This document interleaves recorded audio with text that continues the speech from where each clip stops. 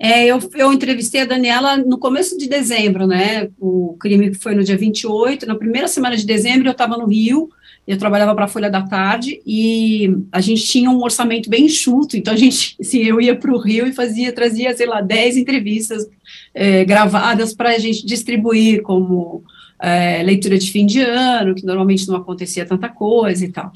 E a última entrevista que eu fiz, isso era na Taikon, onde eles gravavam um documentário fala muito bem sobre a Taikon, que era um estúdio anterior ao Projac, a Globo na época tinha uns estúdios no Jardim Botânico, tinha um estúdio na Taikon e tudo passou a se tornar muito insuficiente, o que só alimentou a construção mega do Projac e tal.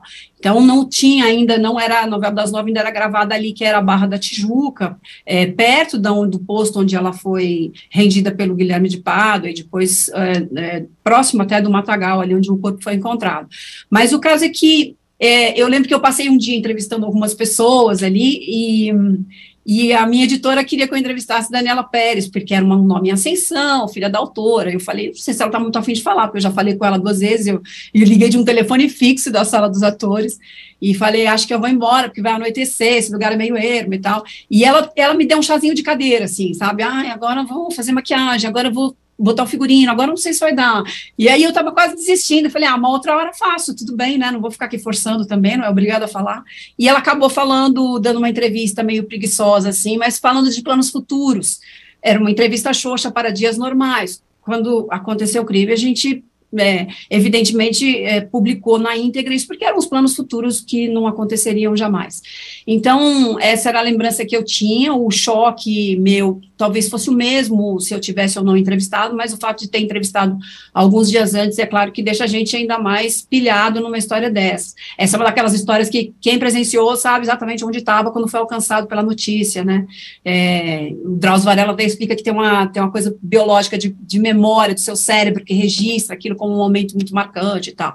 Enfim, aí eu, o, que eu, o que eu vejo, o documentário uh, fala um pouco sobre esse modelo que, uh, de, de gravação na época, que era muito mais vulnerável que hoje, você não tinha um, um super aparato de segurança dos estúdios, né? Você tinha, evidentemente, eu tinha que ter autorização para entrar lá dentro, mas uma vez lá dentro eu não tinha, por exemplo, como hoje, assessores da Globo me perseguindo para ver que entrevista eu ia fazer ou não. Eu tinha o meu nome autorizado na porta e eu me virava. É, e sem ninguém ali atrás de mim, que coordenava as coisas, falava com os atores e tal. E na porta do estúdio, no dia da, da do assassinato, ela acabou, ela saiu, atendeu alguns fãs, é, crianças que queriam fazer foto com ela.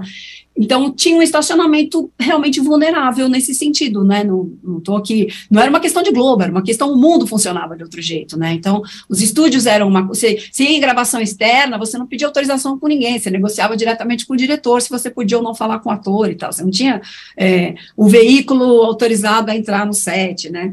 E tudo isso se refletia naquele momento é, com todos os com todos os, os, desdobramentos que a gente conhece. Depois do, do acontecido, a Globo acabou apertando algumas regras, não só de segurança, mas em relação a ter sempre um autor que soubesse, tivesse a par da novela toda, tem sempre um, um supervisor é, olhando de longe, caso o autor precise se afastar, a Glória precisou se afastar e Gilberto Braga ficou com a novela ali por um, por um período curto, até porque ela voltou muito rápido é, para conseguir sair mesmo desse fundo de poço, ela fala isso no documentário, que era preciso trabalhar, e, e também é, começou a haver uma restrição em relação à escalação de filhos de autores, né, filhos de diretor, estar na mesma novela que que é criada pelos, pelo seu pai, pela sua mãe, mas também é uma regra que não se estabeleceu, que não durou muito tempo.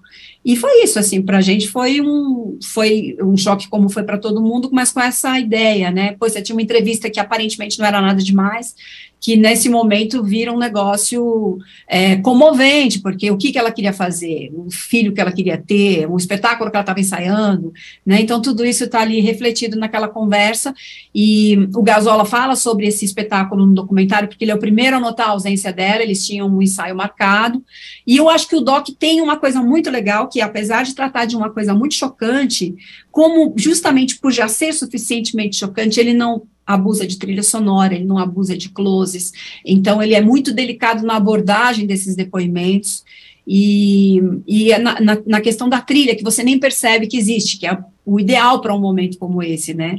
Ele não tropeça, os dois primeiros episódios, pelo menos, não tropeça em nenhum momento nisso. Então, a montagem é muito competente, a edição, e, assim, dentro do que é possível tratar num caso como esse, de bom gosto, sabe? Assim, é uma abordagem realmente delicada.